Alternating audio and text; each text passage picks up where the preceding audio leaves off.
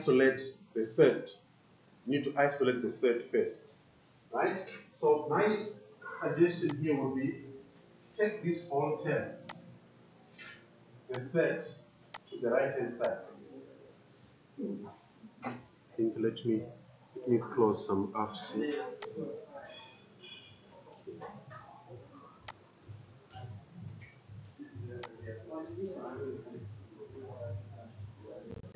you isolate it. If you do that, you get x plus 3 is equal to 2 square root of 5 minus x. That, that's how I would suggest that you do it. So you isolate the surd first. Then the next thing now is to remove the radical sign or the square root sign. That's the next step. Okay? But be aware that outside the radical sign there is this 2 here. So when you square, be aware that the square will also affect the 2 separately. So you square there on the right hand side, also square on the left hand side. Please, you don't square the x on its own, the 3 on its own. Be aware that x plus 3 is one number. It's one number. It's just that we don't know the value of what? Of x. But this is one number. So you can't square the x and you square the 3 separately because I have seen this from my experience over the years. Learners will do this x squared plus 3 squared. This is wrong. Okay? You square the binomial term, that's, that is x plus 3. You square it. Right? Then, from here, you get, you use FOIL. Okay? Use FOIL. Okay, let me take you back to the basics. So use FOIL, so this is the same as x plus 3 times x plus 3. On the right hand side now, this 2 affects the 2 outside the square. So you end up maybe 2 squared times 5 minus x. The square goes away. Then you have x squared plus 3x plus 3x plus 9 equal to 4 times 5 minus x. Then obviously, because of this square here, that tells you that you have to create a quadratic equation. Okay, it's 5 marks. So you have to show every step in order for you to get full marks. So this will become x squared plus 6x plus 9 equal to 20 minus 4x. Then you take those two terms on the right and left, you get x squared plus 10x right, minus 11. Okay, once we get to this standard form, remember, you have to simplify, you have to get the standard form because normally the standard form is allocated a mark. So you start with the squaring, right? Also, the transposing of this surd, it may be allocated a mark, taking it to the right hand side. Then the squaring of on both sides. So the simplification is very basic, that is grade 9. The standard form, where it will be allocated a mark.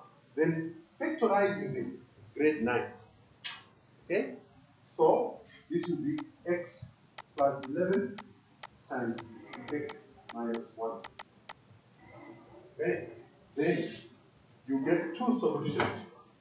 So the first solution will be x equal to minus 11, the other will be x equal to 1. Okay? Now you are expected, because this is a surd equation, you have to test or check that both answers are correct or they are invalid. Okay? You have to check the validity of those two answers. Whenever you've got a surd equation, you have to check the validity. You don't stop here. Otherwise, you may lose two marks if you stop here. You may lose two marks. So, let's do a quick check. Normally, this check you, you can do it mentally. So let's start with minus 11. If I put minus 11 here, I'll get minus 11 plus 3, and that should give me minus 9, isn't it? So I'll get minus 9.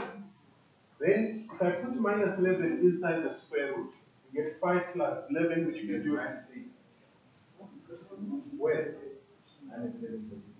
Oh, it's minus 8. Sorry.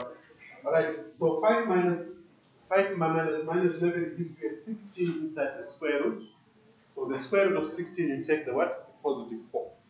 Positive 4 times negative 2, that will give you minus 8. So you get minus 16 on the left and the 0 on the right. So in that case, is minus 11 valid or not? So this one won't be applicable. So let's test the 1. You put 1 here, 1 plus 3 give you a 4. Put 1 there, 5 minus 1 give you a 4. The square root of 4 is a positive 2. 2 times negative 2 give you a negative 2. So 4 minus 4 will give you a 0. So that's a solution. So here, you can just write, therefore, x is equal to what? 1. But you need to indicate that the x equal to minus 11 is not a valid solution. Or sometimes the mark can be allocated for writing that the, the other value is invalid. So you have to indicate either you can write it, you know, write next to the minus 11, not applicable, or you can say x is not equal to what? To minus 11. You can also write it like this. But the final answer is going to be positive 1. We're following that. Now, this question, if you are well prepared, I can tell you that you can do it within one minute. If you are well prepared, you know what to do. Because on Friday, when you get a question, it's no, it's, it's no longer time for you to start thinking a lot. It should become natural now. When you see a surd equation, you know what to do. You don't have to take too much time thinking, how can I do this? That time is gone. All right? Okay, then your simultaneous equation. Now, this always comes. So be ready to solve a simultaneous equation. Sometimes they can bring knowledge of exponents, like in this case. So you have to apply a knowledge of exponents in the first equation first. Then you create your two equations, one which is linear, the other one quadratic in two variables. Okay? So let's deal with this equation first. We need to simplify that so that we can get a linear equation. So the first thing, take the minus 2 to the power of y plus 2 to the right. So we get 2 to the power of x will be equal to 2 to the power of y plus 2 equal to 0. Okay, sorry, not 0, but uh, right? Then the, the base is the same, therefore the exponents? Are equal. So your first mark will be here. This is where the first mark will be. Okay? Knowing that x is equal to y plus 2. That's where you get your first mark. It's six marks, remember. Normally, a simultaneous equation is five marks, six marks. That's the most common marks for simultaneous equation. Five marks, six. Five, six. If you check the past papers, five, six, five, six. Right? Which is quite a lot. Right? So, and it's also easy to get those full marks. Once you get here, you can call this one here your equation one. Obviously, this equation here is going to be made equation two. Now, when you are solving a simultaneous equation, always make x or y the subject in the linear equation. Okay? If the coefficient of x or y in the linear, okay, is not a 1 for both x and y, then it means you have to be ready to work with fractions. Okay? Do you understand what I'm saying? Let's say, for example, the coefficient of this x was a 2, the coefficient of the y was a 3. It means you have to make either x the subject or y the subject. In that case, you create a what? An equation which has got fractions. So be ready for that. Right? Then you can also have a case where one of the two, that is either x or y, has got a coefficient which is more than 1. In that case, make y the subject if the coefficient is 1, or make x the subject if the coefficient is what? Is 1. Don't try to work with fractions unless there is no choice. Is that clear to everyone? Unless there, there's no choice. You don't know what type of equation they will bring for simultaneous, but those are the cases that you can have. The easiest case is when both of them have a coefficient which is equal to what? To 1. That's the easiest case. Alright? So here, this was easy. So all I have to do is substitute into the quadratic in two variables. So I've got my x as the subject. So where there is x there, I'll put what? y plus 2. This is very easy. So easy. It's so easy to a point where if you really understand it, you no longer need to do it again. Do you understand what, what I mean? It's so easy yes? So why you make a y the subject? That's fine. Now that's also fine. Now that solution will also be provided. So that the memo will accommodate both cases where you make x the subject or you make y the subject. But for this case here, there is no need to make y the subject. Because x is already the what? The subject. Okay, so let's substitute that. You get y plus 2 squared plus 2 times, okay, here I'm going to write this 2y, right, then times y plus 2. You following that? Because we have got 2xy. So I started by writing 2y first, then I substitute the value of x. You can do this because of multiplication, or you can take this y to the other side. It's still the same thing. Right? Plus y squared to 36. Now, already it should become natural to you that you have to create a quadratic equation. This is the clue that you have to create a quadratic equation. That's why you have to be a master of solving quadratic equations. You have to be a master of solving quadratic equations. Because quadratic equations pop up in many topics in both paper 1 and paper 2. So you have to be a master of solving quadratic equations. Alright, so here use FOIL. Yes? So when I go to the x, uh, when, uh, uh, two x, y, what is over? Alright. You see these two, you see these two, the, the, the two xy. It's all, you can also write it as 2yx because of multiplication. Therefore, I started with the 2y, then I multiplied it by what? By x. But you can also write 2, then open the bracket y plus 2, then you put the y on the other side. Yeah, it's still the same. Right? Then, obviously, please, here, don't be tempted to say this is y squared plus 2 squared. Please. I'm telling you, that's a very common mistake. That's a very, very common. And some learners will do it in the final paper. So this is y plus 2 times y plus 2. If you can do it mentally, simplify this and get a trinomial, that's also fine. Right? So this will be plus, now I'm going to multiply here with 2y squared plus 4y plus y squared equals to 36. By simplifying this, we get y squared plus 4y plus 4 plus 2y squared. Me make this a 3y squared because by equals 2 plus 4y equal to 36. Then we get 4y squared. Okay, that would be 8y. Then you take the 36 to the left, you get minus 32 equal to 0. Okay, so in terms of mark allocation, right, you get a mark here. There is a possibility that, okay, this would be the best option.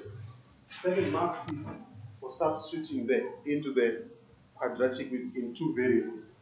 The fourth mark would be the standard form of the quadratic equation. Right? Then I would encourage you here to take out a common factor. If you don't want that, you can use the quadratic equation to solve it. Okay? Remember, there are three methods that you can use to solve the quadratic equation, excluding the calculator. You have factorization, the quadratic formula, completing the square. Now, among the three, the best method is to use the quadratic formula. But if you are very good at factorizing, then you can also do that. But the quadratic formula is the best. So here, there's a common factor which is a 4. And that would be 16. Sorry, 58 rather. That would be 8. So that would be minus 8 equal to 0. So what this means is my new equation, which is simplified y squared plus 2y minus 8 equal to 0. Okay, now that's a grade 9 quadratic equation. Okay, so this will be y plus 4 times y minus 2 equal to 0. You get y equal to minus 4 or y equal to positive 2. Okay, so we've got uh, the will be the factors. Either the factors or if you use the quadratic formula, you get a mark for using the quadratic form. So four marks. Then the fifth mark, the two y values. You have to get the two y values correct for you, both of them correct, for you to get the, the mark. If one is not correct, you won't get the, the mark. But you get CA marks for the values of x now, provided you don't make any silly mistake. So if I want to find x, so x will be equal to if I start with minus 4, that will be plus 2. I'll get negative 2. Okay? Then y is positive 2, with 2 plus 2, and get positive 2. Right? Please, there is no mark allocated if you write your answers as ordered first. Okay, so it is 4.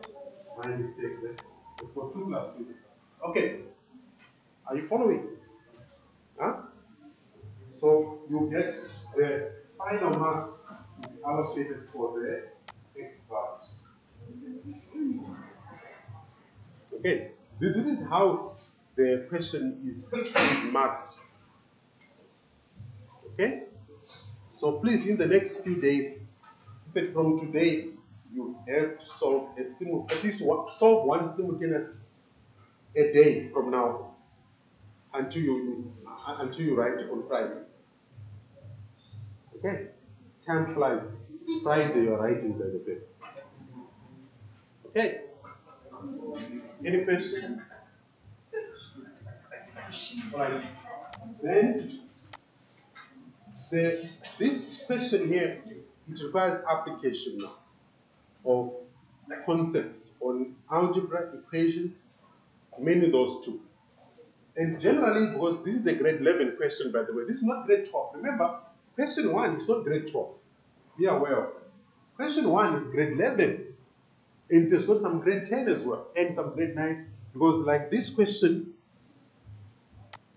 the first question, this one, 1.1.1, that's a grade 9 question. Ah, it's not grade 10. It's grade 9. Yeah. Grade 9. Yes, it's grade 9. Uh-uh.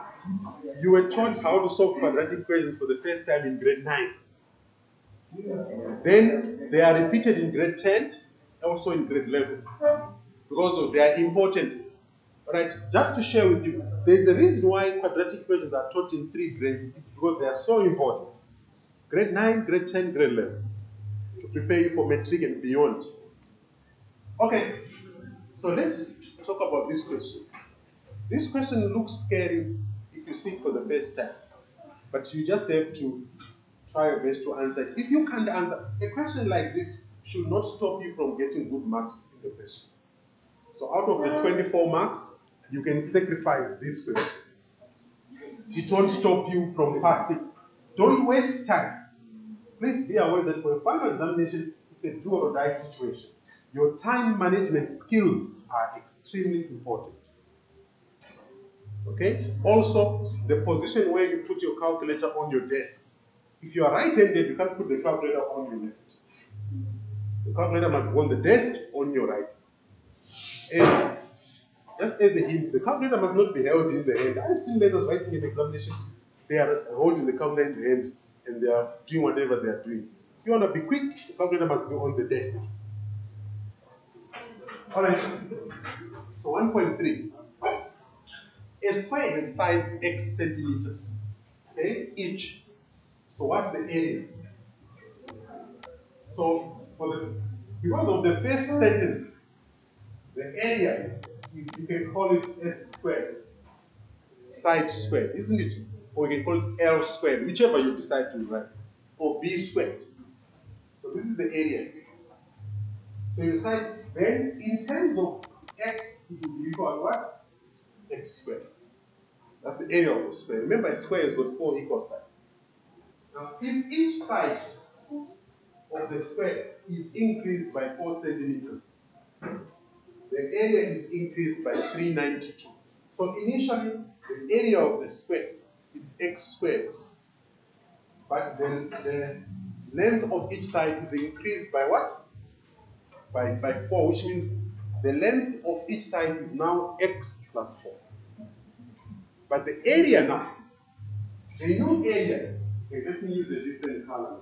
The new area is going to increase from being x squared to x squared plus what? 392. The length of each side is going to change now. The length of each side is going to be x plus 4. So this question was so easy. So you have to create a what? An equation in terms of x. In that equation, the area is this. So x squared plus 392 will be equal to x plus 4 squared.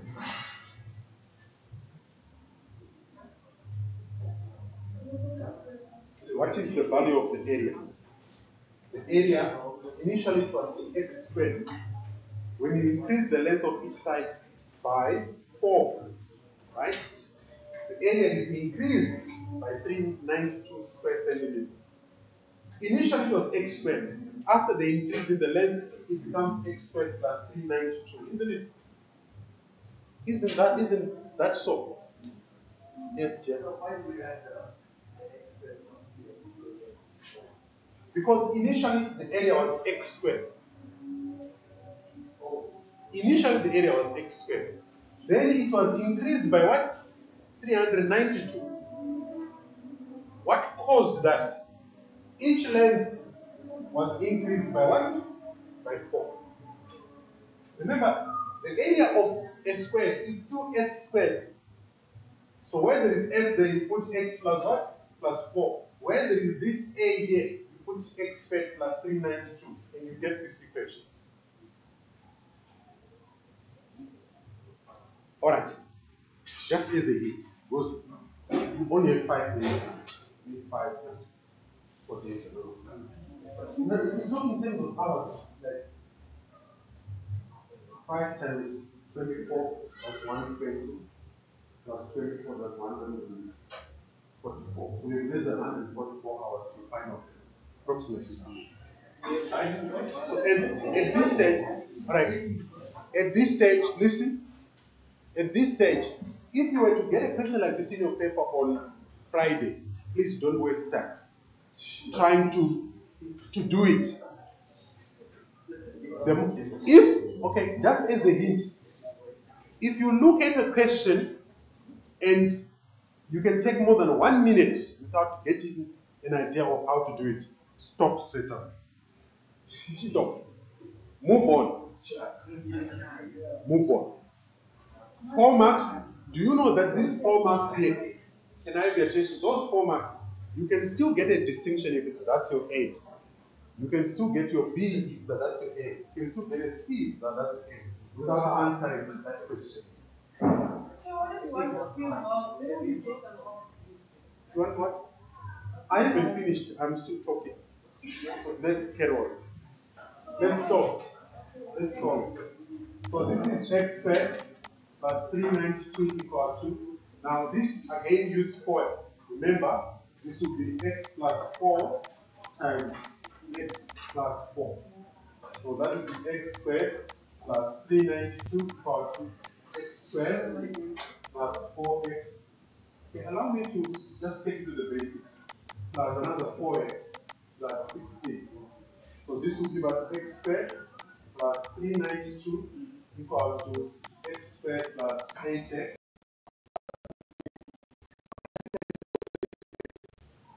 Right? So now check this. If I take the x squared to the left and or take this x squared to the right, they cancel out, isn't it? So I'm I'm gonna have an equation which will be 8x is equal to 392 minus 16. 392 minus 6 give me 376. So, so I'll end up having 8x equal to P76. Are you following that then? Huh? Then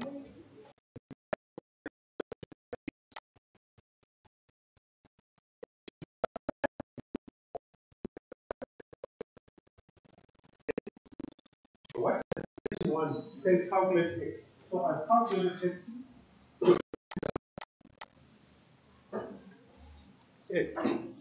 But be aware that for question one, they, they, they are most likely to bring a higher order question. And usually it's around four marks somewhere. Three, four marks. If you can't figure it out, please let not it hinder you from doing well. Leave it. Okay? Four marks cannot stop a person from getting an A, or from getting a B, or from getting a C, or from getting a D. No, no. Okay. All right. So in terms of mark allocation, in terms of mark, I'll give the first mark for creating that equation. Okay.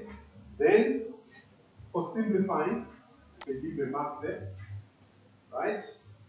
Then obviously the answer, will be the first mark I was giving marks there. Well, I could probably give a mark for knowing the value of the area after the increase. I I can also give a mark there. That was the examiner I will allocate it to step. Okay. First, writing the equations should not take you 10 seconds, the equations of asymptotes. So your two equations of your, your asymptotes are x equal to what? X equal to 2, and then the horizontal asymptote is x y equal to 3. Okay, so you should not take more than 5 seconds to write the equations of the asymptote. Then the domain, how do you write the, the, the, the domain? So you start by saying x is an element of real numbers, but x is not equal to the value along the vertical asymptote. So it's not equal to 2. Sometimes you can get a question asking to write the range.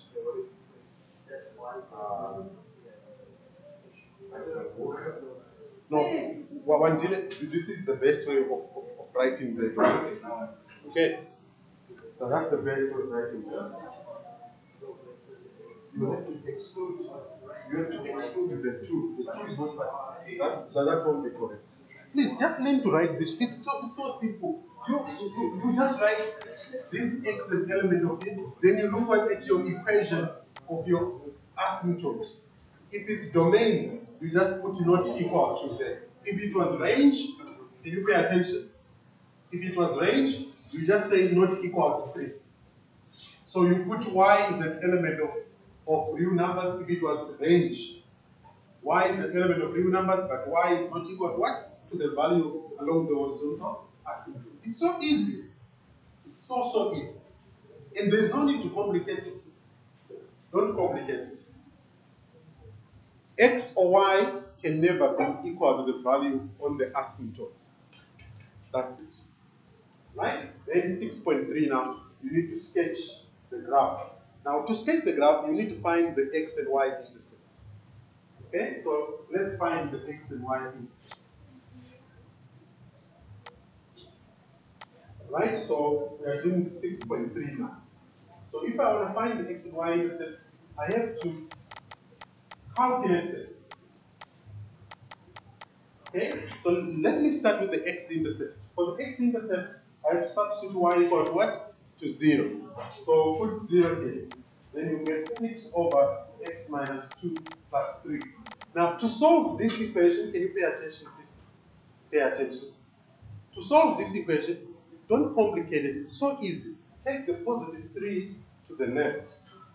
So if you do that, you get negative 3 equal to 6 over x minus 2. The denominator there is a what? It's a 1. Then you cross multiply. You cross multiply, you get minus 3x plus 6 is equal to 6. Then you get a grade 8 equation. This is the grade 8 equation. Then you get minus 3x equal to 0. So x will be what? Will be 0. which means our x-intercept is going to be at the origin. Yeah, it's fine. You can put it in the calculator. Right? Then the y-intercept, you've got f of x equal to just You, you get marks for having the X and no. You get the marks for sketching. There are no marks allocated for doing this working out. The marks are allocated on the graph. Okay, so you you can use a calculator like, like, what uh, Spokers is talking about. You can use a calculator. That is if you know your calculator very well in terms of equations. Right? So f of x is equal to 6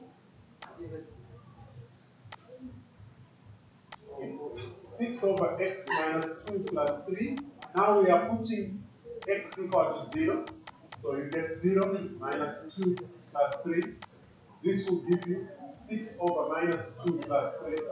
And again, you get minus 3 plus 3, and you get 0. Okay, so both the x and y intercepts are equal to 0. What does that mean?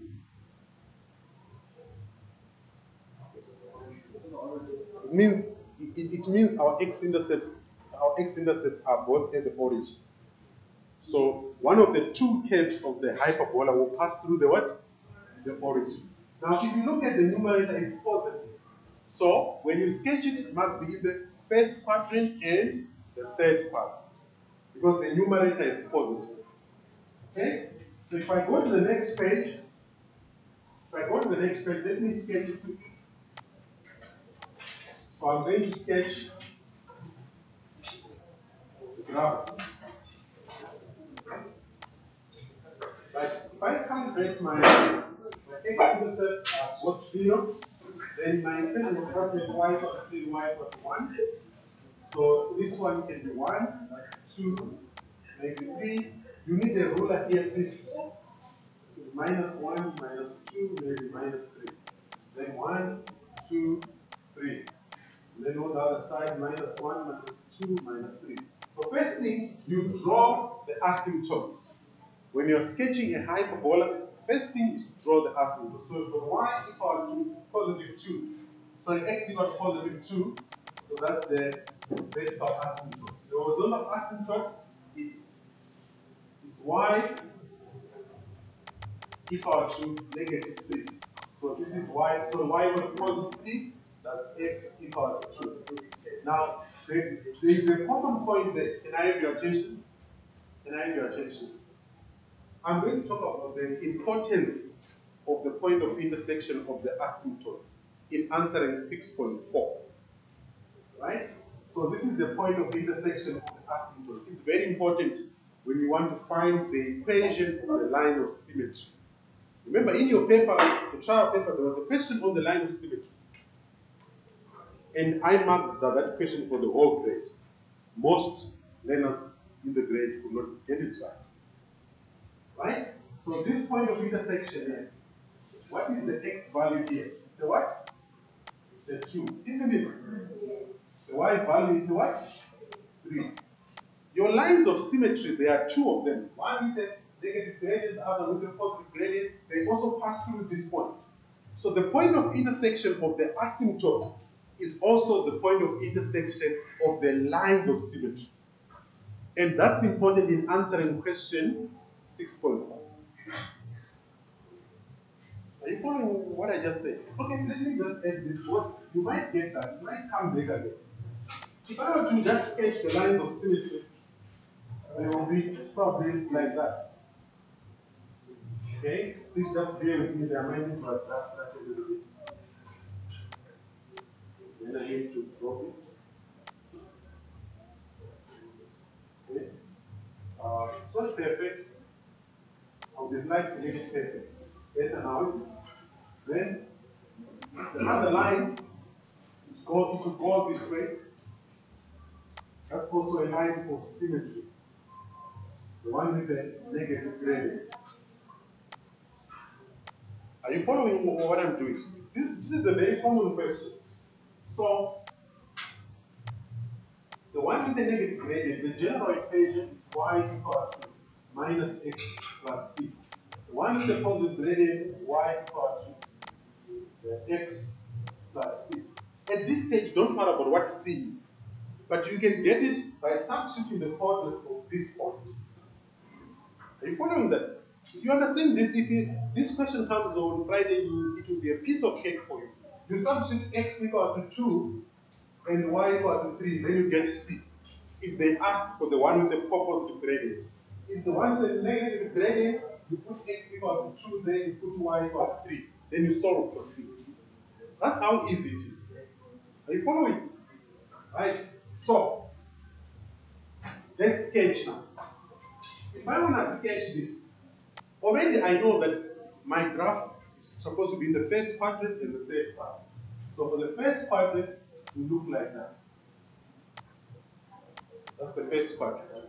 Remember, once you draw your asymptotes, the areas between the asymptotes will become your new quadrants. You understand what I mean? Right? Then for the second one, we have got an x-intercept there. So when I sketch it, it will pass through that point. And then you're done. Are you following? Because our x-intercept is at the origin.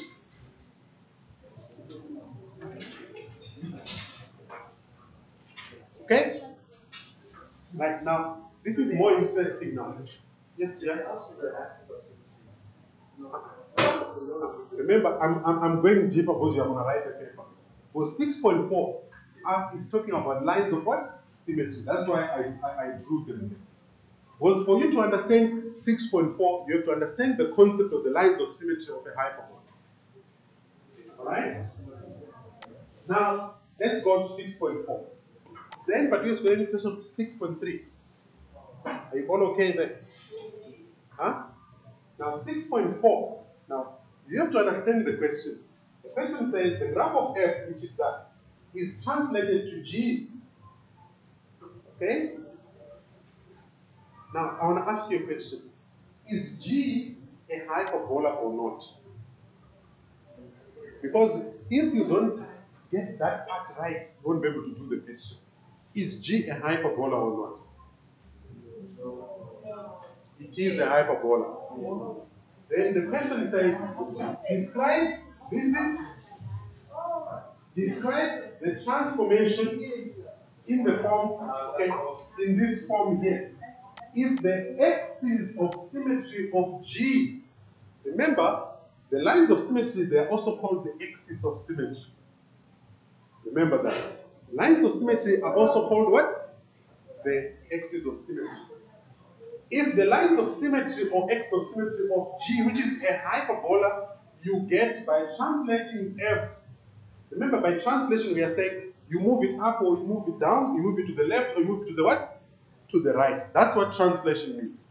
So F was moved up or down, we don't know. Left or what? Or right. To get a new function G. The axis of symmetry of that new function g, they are y equal x plus 3 and y equal minus x plus 1.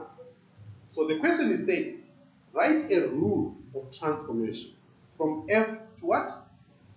To g. So for this question here, it's, it's, it's slightly higher order. You have to use your knowledge of the axis of symmetry or the lines of symmetry. So if I go back here, this is F, remember. So F was translated to get what? G. Your reference point is this point here. That's your reference point. Because the asymptotes and the lines of symmetry, they intersect at a common point. So if the graph moves, the asymptotes move. The axis of symmetry also what? Move.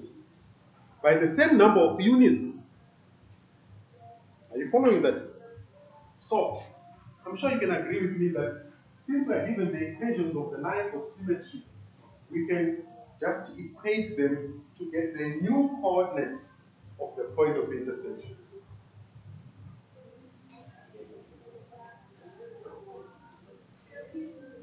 Okay, if f is translated, do the coordinates of this point remain the same?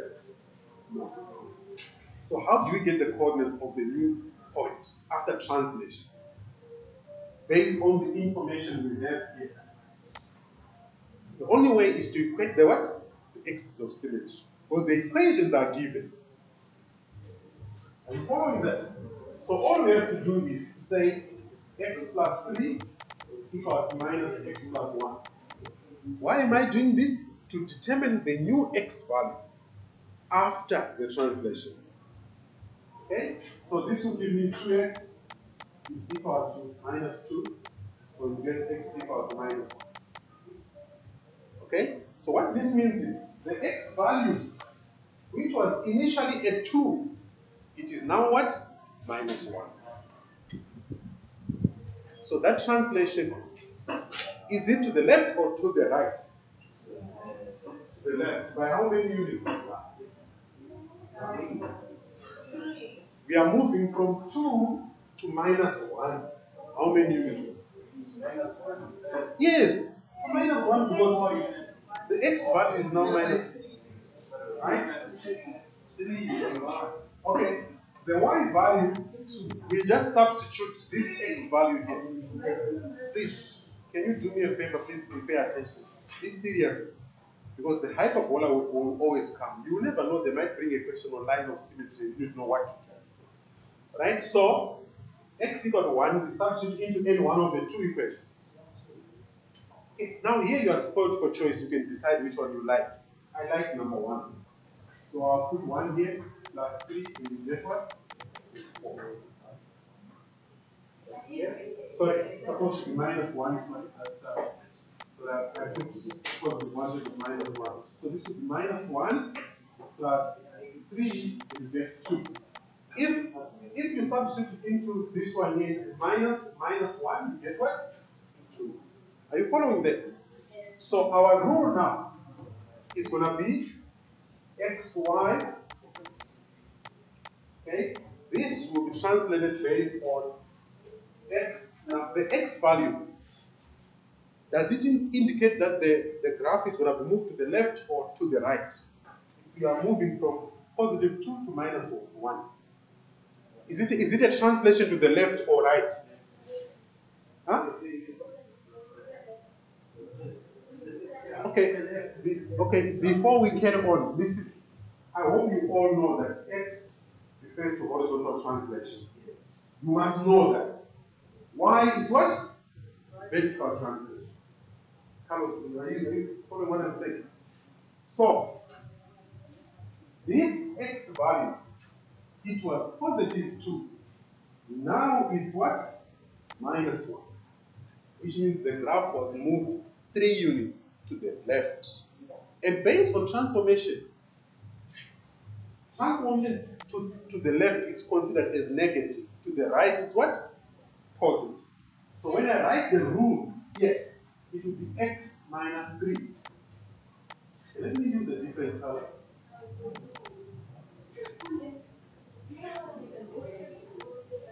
So that will be x minus 3.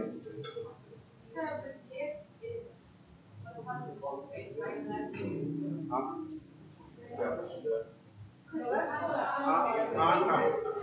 Okay, look. Okay, look. Initially, x was equal to what? 2. What is 2 minus 3? 1. okay, please don't forget that whatever rule you write, it must be able to give you the coordinates, the, the coordinates of the new point. If it can't give you the coordinates of new point, it means your rule is not correct.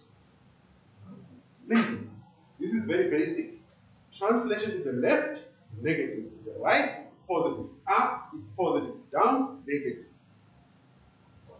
Okay, done with it. You think otherwise, that's your thing. Then why now? Why?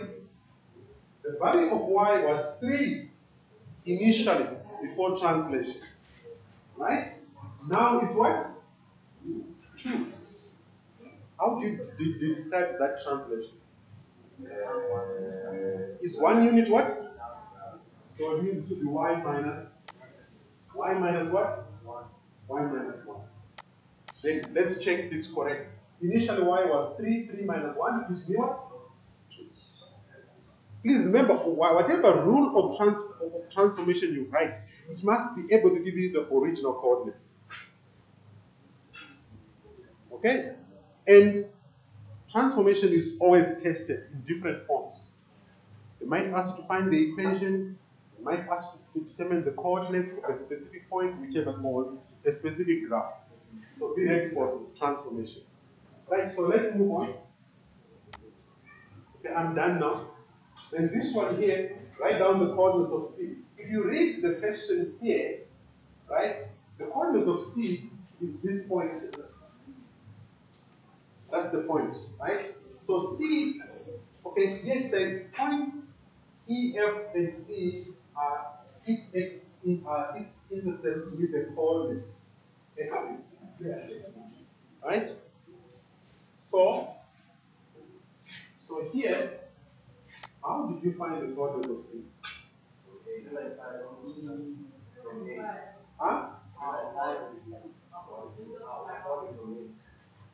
Right? And look here. Point A, you see? Point A is the reflection of C. Point A, this point here, is the reflection of C. Right? Now, if it's a reflection of C, right?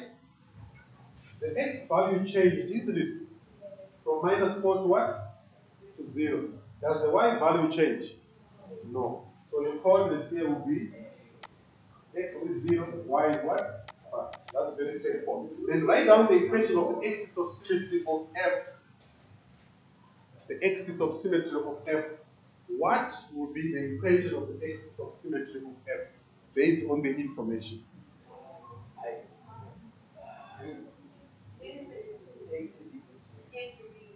X will be to negative 2, right? How did you get it? Alright, if you are to draw the axis of symmetry, you use this point here. x is minus 4, x is 0 there. Isn't it? So, what is half the distance from here to there? To be what? Two, to be 2 units. So the value of x here has to be negative what? 2. So your answer here will be x is equal to minus 2. Are you following that? Yes. Right? Then, there's a third question. Calculate the values of A, P, and Q. Right? Now, this equation here, it was given in turning point form. It was given in turning point form. Therefore, we know that if x is equal to minus 2, what will be the value of p? Is it going to be a positive 2 or negative 2? Huh? The value of p.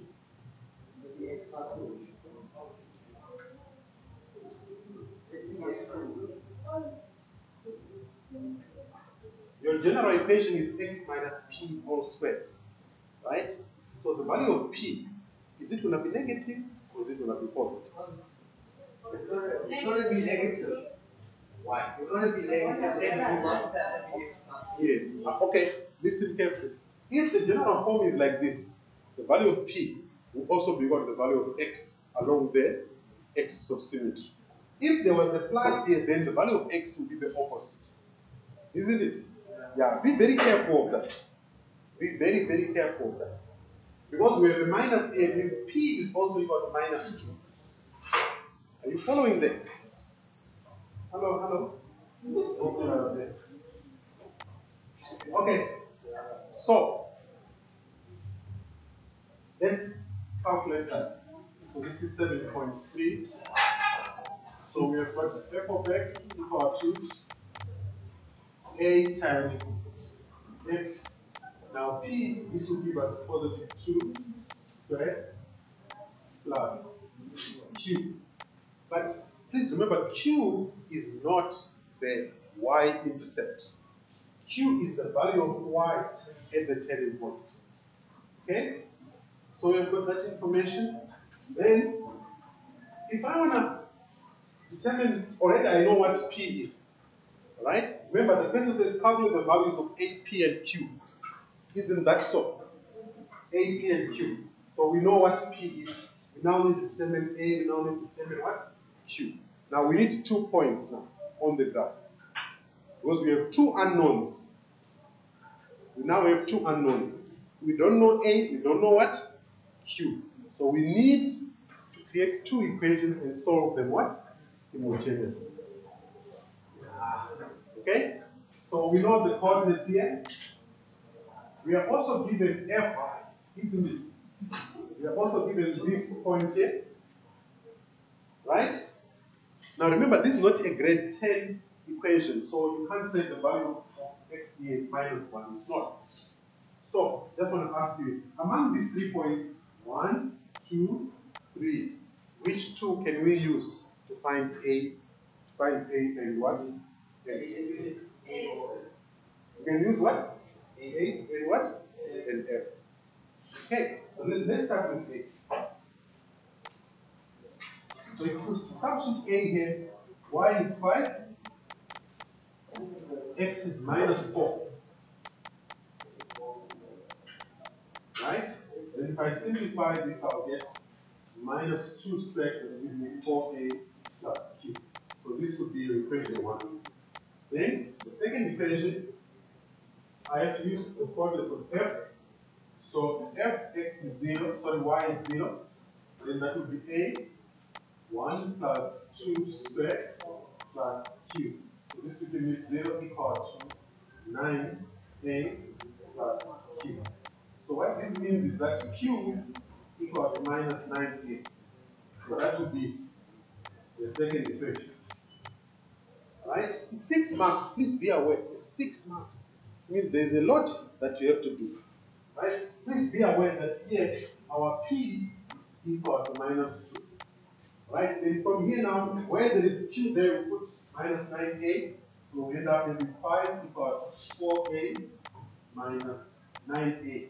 And this will give us 5 equals minus 5a. Now, common sense should tell you that since the graph has a maximum turning point, the value of a must be what? Negative or positive? So why It has to be negative. Okay. C. Remember, x is 0 there. Y is what? 5. So let's see. If I put uh, x equal to 0, and then we put y equal to 5, I think we can also use it. I think we can also use it. Yes? Because there are two, remember we have got two unknowns now. The value of A and the value of what? Of Q. So if you have two unknowns, you need two points on the graph. If there were three unknowns, you need what? Three points. So A will be what? What? Minus 1. Then Q will be equal to minus 9 times what? Times minus 1. And this will give us Q equal to what? To, to sorry, that's supposed to uh, positive 9. Do you agree with me that the value of Q must be positive, isn't it? Yes. Yes, because this point here, the value of Y there has to be what? Positive. You must use common sense when you're answering questions on functions. You can't get a value which is negative at B for Q. You can't get a value for A which is positive when the graph has a maximum turning point. Are you following? Yeah. Remember, remember, if A is positive, you are going to have a smiley face. If A is negative, you are going to have a sad what? A sad face. Don't forget those concepts. They are very important. So when you answer the question on functions on Friday, remember what I'm telling you now. Use common sense. Ask yourself, does my answer make sense? Okay? So we are done now with what all the values. So just to highlight the values, A is there, P is there, then Q is there.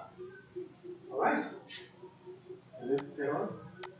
Then, if calculate the x coordinate of D. Now, if f of x is equal to this, calculate the coordinate of D. So D is this point. How would you determine the coordinates of, of three? Yes, you equate the two? The equation of the two functions. Right? So what that means is you say f of x is equal to what? To g of x. What is f of x? It's minus x squared minus 4x plus 5 is equal to minus 2x minus 3. So this will give me minus x squared minus 2x plus 8 equals 0. Then you can use your knowledge of quadratic equations. I'm going to convert the coefficients of x squared to a positive. So I'll factor out minus 1. Or you can divide by minus 1. So this becomes x squared plus 2x minus 8 equals to 0. And then you factorize, get x plus 4, x minus 2 equal to 0. So you get x equal to minus 4 or x equal to positive 2. Then use common sense now. Which of the two values, x equal to minus 4 and x equal to 2, is applicable at d, positive 2? And so, therefore, x is equal to 2, then you can indicate that this one is not applicable. Then you need to determine the y value. So your y value is going to be equal to minus 2 times 2 minus 3, and you get minus 7. So the coordinates of d are going to be x x is 2 y is minus 7 you following that? Right? Then the graph of f is reflected about x-axis okay? So what happens it says write down the coordinates of the turning point of the new parabola so we are reflecting this graph about the x-axis Remember, the coordinates of our turning point are x is minus 2, y is what? 9. Do you agree with me there? So if you reflect this, this graph about the x axis, what happened to the turning point? Y changes. But x remains the what? The same. So here says write down the coordinates of the new turning point. So your answer would be minus 2 and what? Minus 9. All right? Then this one here, what are the coordinates of A? Coordinates of A will be what? Remember, this is an, an x-intercept. So, x will be 1, y will be what? 0. For any logarithmic function. So why do we get the one? Because this is an x-intercept. If if your logarithmic function is like this, what's the value of x of y here? Zero. Okay, let's solve it. Let's solve it. It's a good thing that you are asking. So g of x is equal to the logarithm to base of a third of x. y is zero, isn't it? And a. So this would be log the base of the third of x. Remember, the base of the logarithm is also the base of the exponential. Hello? The base of the logarithm function is also the base of the what? Of the exponential. So our base is the third. If I convert this to exponential form, my base is still what? A third. So this becomes a third to the power of what? Zero. This will be x. Any number raised to the power of zero is what? One. You get one.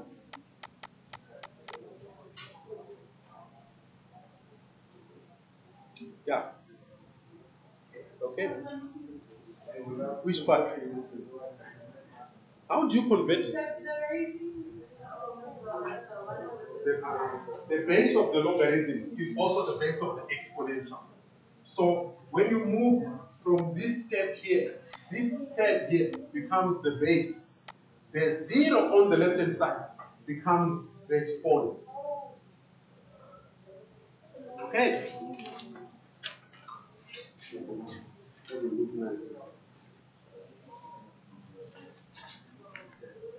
the following. Okay? Then sketch the graph of the inverse of this. Now, remember, I'm, okay, if I told you, I think I told this. You're taught by another teacher. I'm sure your teacher taught you. If your base of your of your logarithmic function is between zero and one, you get a decreasing function, which means the original exponential function is also a decreasing what? Function. If the base is more than 1, then you get an increasing function. Are you following what I'm saying? So when you, if you want to sketch the graph of the inverse of this, it's going to be an exponential function. And it will have a, an x, sorry, a y-intercept somewhere there. At, at y equal to what? To 1. So when you draw it, they have to intersect somewhere. It goes like this. But it won't touch the what? x-axis. Because the x-axis will be an asymptote. Okay? It will be an asymptote. Okay, my sketch is not nice, but well, that's how it's supposed to look. I think I will put it somewhere there so that it goes like that. Okay? Yeah, but you are following what I'm doing.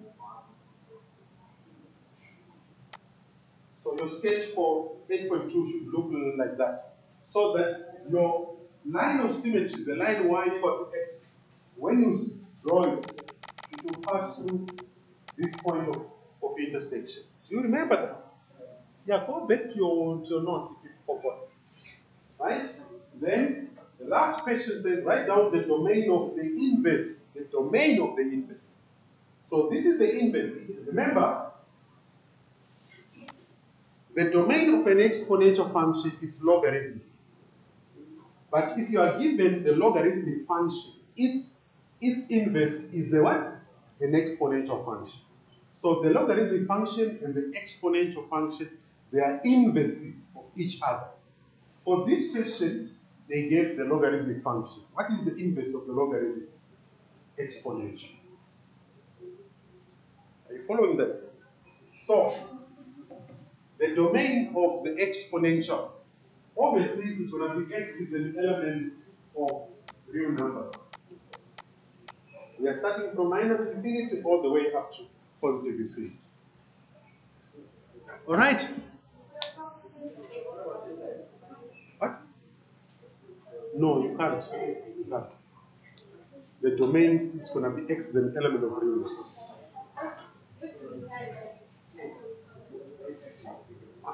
You see, if it was range, that's when you, you, you, you talk about the value and the asymptote. You'll say the range. What is the range?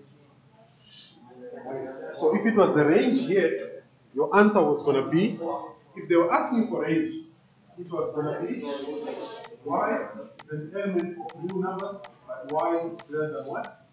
Zero. So that's the, The, the range of the inverse, which is an exponential function. I'm sure you can see that the graph is above the what? The x-axis. So the values of y are greater than what? Zero. Yes. All right. Okay. Keywords that you must look for. Okay? And you must also use common sense. So whenever you see the word maximum, the greatest, the largest, and under rates of change, okay, means find the derivative and equate it to what? To zero. Is that clear then? There's no need to get confused. So you read the whole story, you can read, but the second paragraph is more important. It says the relationship between the time t from when the water starts flowing and the rate r, which is the water, uh, which the water is flowing through the system is given by this equation. So r is the rate at which the water is flowing in the system. T is the time taken from when it starts flowing where t is measured in seconds. So the first question says, after how long? This is time now. After how long? Will the water be flowing at the maximum rate? That means you need to find the derivative. The first derivative, and then you equate it to what? To zero. Alright? So what all we have to do, remember we are answering the first one there. So r is equal to minus 0.2 t squared plus 10t. So the first thing we find is the derivative dr over dt to be equal to minus 0.4. Okay, 0.2 times 2 is minus 0.4, minus 0.4 t plus 10. Then, then we equate this to 0. So minus 0.4 t plus plus 10 is equal to 0. Remember, time is never negative. So when you're answering rates of change, that, that's also important for you to know. Time can never be negative. Right? So this would be minus 0.4t is equal to minus 10. You divide this, you get t equal what? Huh? 25 seconds. Okay, so you're done. It's not complicated. Usually, any question on optimization requires you to find the derivative in equation to what? You will never get a question on optimization which that doesn't require you to find the derivative in equation to zero. And in most cases, it's one of the first two questions. Okay, or probably the last question if you are dealing with a 2D shape, it will be the last one. Okay? Sorry. Then I was supposed to duplicate that question. But anyway, let me do it on the next page. Then the next question says, after how many seconds does the water stop flowing? Now here, what will be the rate if the water stops flowing? It will be what? Zero. Which means this R here, it will be equal to what? To zero. Okay? So, for 10.2, your R is equal to minus 0.2 t squared plus 10t. If the rate becomes zero, means that will become zero. What are we supposed to calculate here? The time says how many seconds does the water stop flowing? After how many seconds does it go down? So here you are now spoiled for choice. I'll tell you why.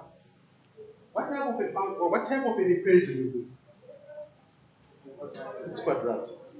You see that quadratic equation they also pop up in calculus. That's why you have to be a master of solving quadratic equations. So we need to solve for t. You can use the quadratic formula if you like. You can use uh, and for factorization you can't because of the coefficient of t squared. Okay? You can use factorization. I'm going to use factorization, so this would be 0 equal to t times minus 0.2 t plus 10. Are you following there what I just did? I took out a common what? Factor. Then from here you can have t equal to 0 or minus 0.2t plus 10 equal to 0. Now, can t be 0? You have to use common sense, t cannot be 0. So, minus 0.2t plus 10 is equal to 0, with minus 0.2t equal to minus 10. What would be t equal to? 50 seconds. Right? Also, another way, remember, the rate can be 0, it's going to be 0 at a specific point. So you could also use your knowledge of uh, solving the quadratic function or the parabola here. Okay. But this, this is probably the easiest way to do it. So after 10 seconds, the water is going to stop flowing. Okay, let me be honest with you. Some of the questions on optimization are very easy. Don't be scared because you saw a diagram or maybe you saw some paragraph and then you get scared. No, don't be. Some of them are so easy. Okay, they're so easy. All right, let's talk about the cubic function and then we can say goodbye to one another. All right, so this one now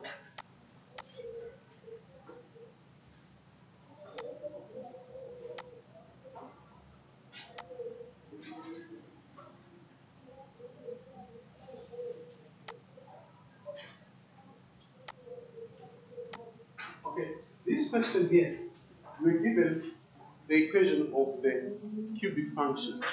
the coefficient of x cubed, is a what? It's a 1. The value of a here that does not determine the shape. It's like the b value in the general form. Remember, the general form is f of x equal to ax cubed plus bx squared plus cx plus d. So the meaning of this a in the general equation is different from the a in the given question. Is that clear? Remember, these are just letters that are used for the coefficient. You can have any other letter. So don't be confused that the A here determines the shape. No way. Alright, so here, you're supposed to show that A equal 1, B equal minus 1. If you get a question asking you to show, you are not supposed to use what you are, what you are given to show. Do you understand that? So don't use these values here. Use the graph and the given information. Since we have two unknowns there, we need to create two equations. And we're only given one point on the graph. Okay? What this means is we may need the first derivative. Okay?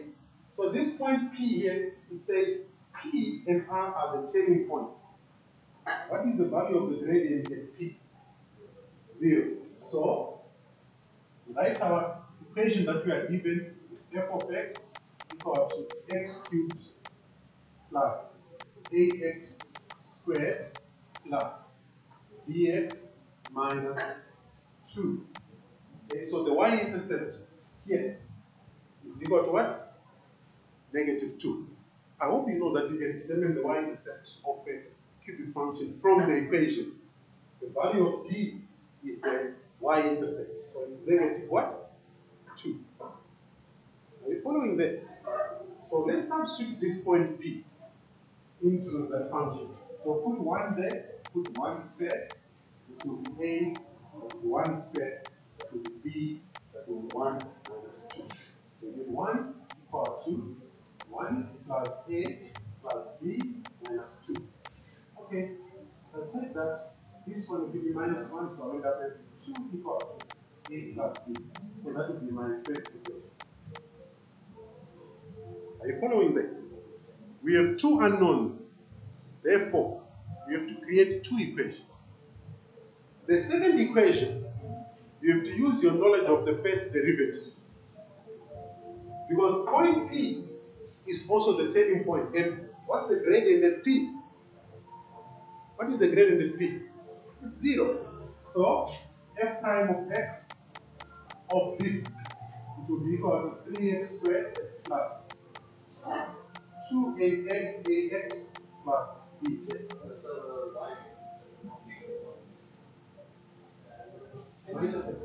Why x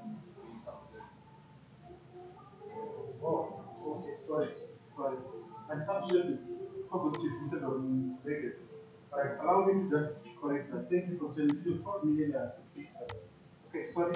I substituted positive value instead of negative value. So let me fix that.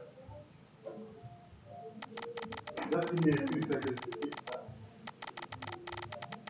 How many of you saw that I substituted a positive instead of a negative? It have told me earlier. Okay. So this was supposed to be minus 1 is equal was I'm in a kind of a rational. So a is minus 1 squared plus plus b times minus 1 minus 2. So that will be minus 1, that will be minus 1 plus plus a. So that will be minus b minus 2. So minus 1 to minus 3 now positive 2. We now get b minus 3. Now it's correct. Right? Okay. Right. Then the second equation will find the second derivative.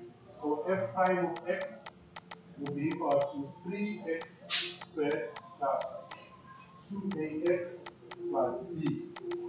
Then we have to substitute now the value of the gradient at the turning point is what? Zero. What is the value of x at the turning point? Minus 1. This will be 3 times minus 1 squared plus 2 times 2 times a times minus 1 plus b. So you get 0 equal to 3. then that one will give me minus 2a plus b. Well, let me write this equation finally. It is b, okay, b minus 2a is equal to what? 3. So that's my second equation. Okay, now I'm in grade 10 now. You know that uh, simultaneous what? Patience. Grade 10. So, what? Yeah, let's check it. So if I if I make A the subject, let me make B the subject here. So B is gonna be equal to, to A minus two. And Then I'll just substitute it. Okay?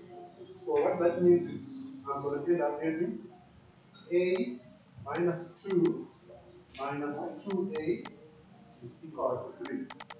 So we get 6a by the way. So that will be minus A equal to. I'm getting minus that, so we get A equal to minus 5. What answer are you getting? Huh? Uh? What answer are you getting? 2. Eight. Okay. Right. Let's see what the problem is. Okay. Can, can someone tell me, did you get these two equations? No, the two. You got the two equations. No, Alright. Okay. Which equation did which, what was your second equation? First, I got two eight, uh, two plus b equals to eight, and then I got, um, yeah, then I, then I got, Yes, you. Okay, Gian, I think you need to look at your um, your equations. Okay, let's just do this quickly. Is this correct? The second equation. I made B the subject. Here. I got B B equal to A minus 2. Is that correct? But- Where? Oh, B no, minus it's, two. it's like, you did wrong. Okay, let's check it. Uh, so what I did here is I swapped these two, b minus 2a. Okay, this is supposed to be minus 3. Okay, you are right. So this is the one. Because minus two A is still minus two A. So, okay, I need to fix this. This is blah, blah, blah. Forget about that. Okay, can I have your attention, please? If you make b, if you if you want to simplify this equation, here, I you have to take this 3 to the left, isn't it? Huh? Yes. It becomes negative 3. Then you swap the position of the minus 2a and the positive b. You get b minus 2a. Are you following that? So you should get b minus 2a equals negative 3. So let's fix that. So I was supposed to have a minus 2 minus 2a is equal to minus 3. So I'll get minus a minus 2 equal to minus 3. Get minus a equal to minus 3. So a is going to be 1. A is 1. Okay, this is correct now because I made a mistake of putting the minus. Okay? Then what is b? B is going to be equal to 1 minus what? 2. Then you get minus 1. Remember, don't forget that we are, we are already told what the value of A is and what the value of B is. Do you remember that? We are told here A is 1, which is what I got here. Right? B is minus 1, which is what I got here. Please don't forget that the values of A and B are given, but you are, you are supposed to show that they are really like this A is 1, B is what? Minus 1. Yes. If you don't, if you can't get A to 1 and B to minus 1, it's working out not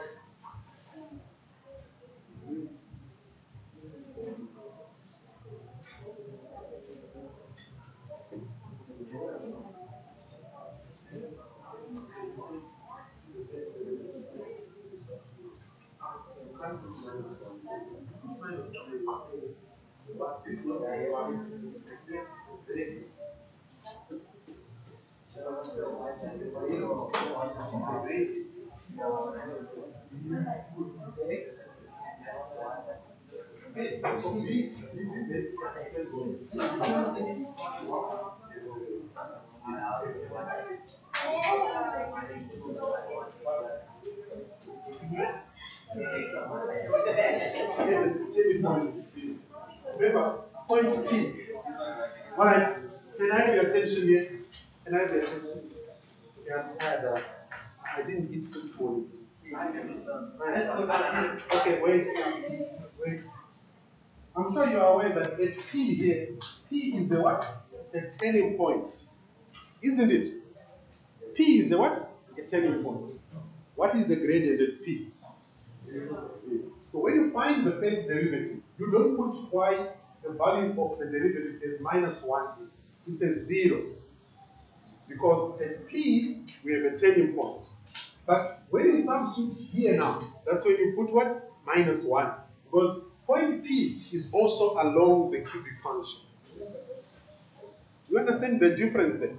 The moment you find the first derivative, you can't put f prime of x as minus 1, it's 0 for this question at P. Okay? Right? But the other thing as well, whilst we're still on this, I don't have time to go over everything, but make sure you know your general equation of, uh, of uh, you know, the turning point form of a cubic function. f of x equal to a times x minus x1 times times x minus x2 times, yeah, you need that equation as well if they ask you for to find the, to find the equation. Also, your concavity, your concavity as well. Remember, concave down, concave up, those questions.